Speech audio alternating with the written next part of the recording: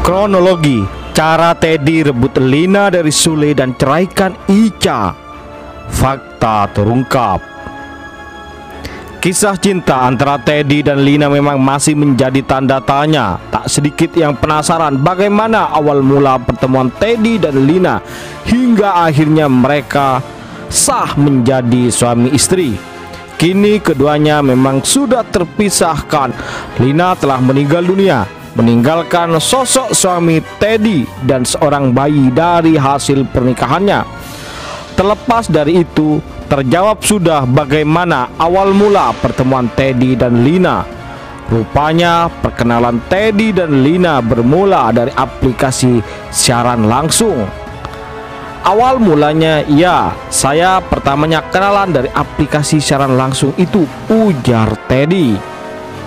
Pernyataan Teddy ternyata senada dengan keterangan Ica pada September 2018. Ica adalah seorang perempuan yang mengaku merupakan mantan istri Teddy.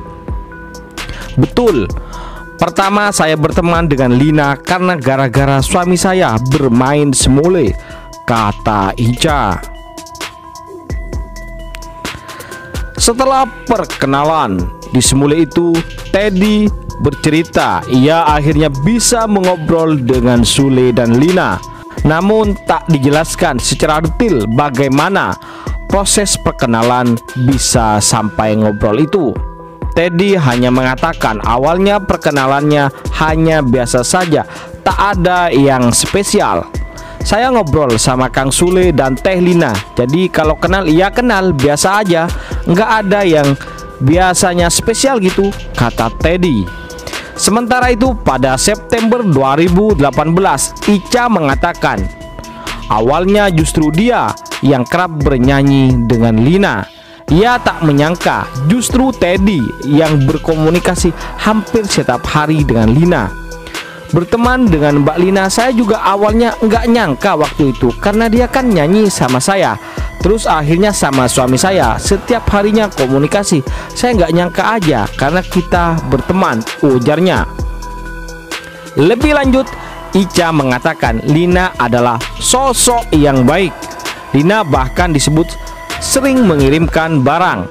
Bermula dari situlah Teddy dan Lina menjalin hubungan pertemanan yang baik. Singkat cerita, benih asmara mulai tumbuh di antara Teddy dan Lina.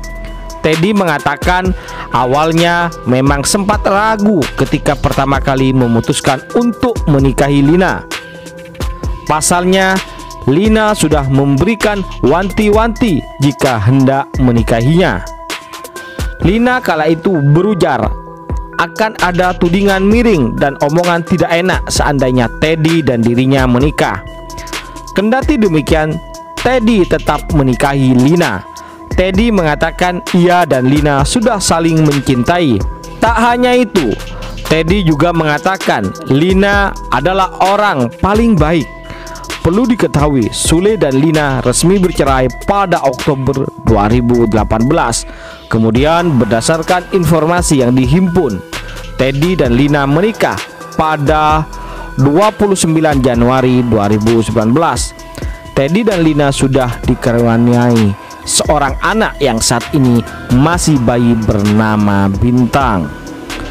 Bagaimana guys menurut kalian terkait kronologi cara Teddy merebut Lina dari Suli dan menceraikan istrinya Ica? Awalnya dari aplikasi Semule. Lalu semakin meningkat keakraban semakin akrab kekerabatan semakin saling sering kirim hadiah atau barang sehingga terjadilah perpisahan dengan sulit dan akhirnya menikah dengan Teddy.